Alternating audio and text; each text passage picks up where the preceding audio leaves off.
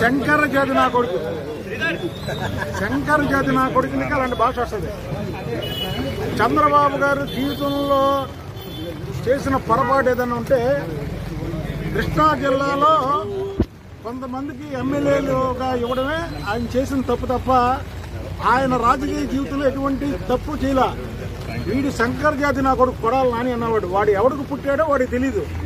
కాబట్టి దేవత లాంటి భువనేశ్వర గారిని ఇండైరెక్ట్గా అంటే ఎన్టీ రామారావు గారిని పొగుడతాడు. వాళ్ళ కూతుర్ని తప్పుడు మాటలు మాట్లాడతాడు వీడు. అంటే వీడు తప్పుడోడు. వీడు ఎవరు పుట్టాడో వీడికి తెలియదు కాబట్టి చంద్రబాబు లోకేష్ బాబుని అలా మాట్లాడతాడు. అరే కుక్క ఒకటి గుర్తుపెట్టుకో. రెండు వేల ఇరవై నాలుగులో మమ్మల్ని చంపే.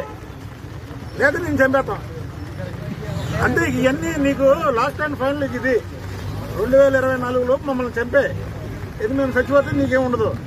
లేదా నా కొడక నేను చంపేస్తాం. ఇంక దీనికి ఇదే ఒకటే సమాధానం.